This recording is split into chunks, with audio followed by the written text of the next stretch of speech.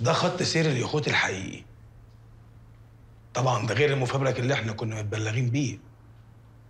وكمان لقينا كمان كل الفايلات اللي على ال system اللي كانت معاه. مش بس كده. ده كمان تحويل بكل فلوس حضرتك اللي بره مصر. صرف منها حاجة؟ هو عارف يا منير بيه بص قدامه.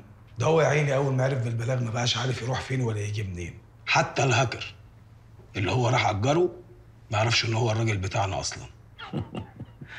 بس منير أنا كان ليه عندك سؤال. ليه أنا بعمل معاه كده؟ مظبوط. لأنه طلع. مجرد مهرب حقير. عايز يبقى رجل أعمال وعلى قفا ابنه. تمام. أنكل موني سوري آه حضرتك مشغول؟ لا يا حبيبتي اتفضلي. جمعة. اتفضل انت. إذا جد أي جديد في الموضوع ده يبقى بلغني على طول. تمام يا منير بيه. استأذنكم.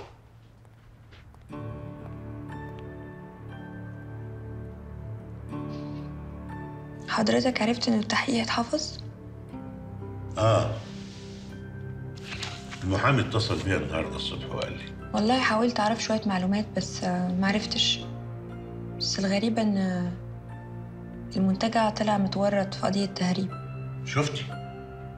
الواد كان مغفلنا كلنا. أنكل منير وفي حد قالك عن ليليان إنها غبية؟ يعني مهاب يعرف ناس بتشتغل في الديب ويب وحضرتك اللي جايبه المنتجع وما تعرفش عنه حاجة؟ طب إزاي؟ طيب إذا قلت لك إنه شغال لحسابي. وإن أنا كنت عايز المنتجع بتاع حسين بالذات. عشان التهريب؟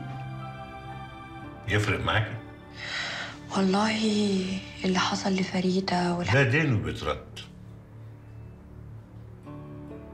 لاحظي إن كده كده فريدة بين إيدين ربنا وفريدة دي كانت مدير مدير لمنتجع بنسبة في الربح.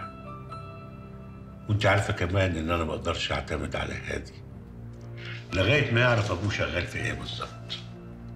كل اللي أقدر أعمله له دلوقتي إني أدور له على عروسة جميلة بنت حلال وفي الآخر أنت اللي هتختاري.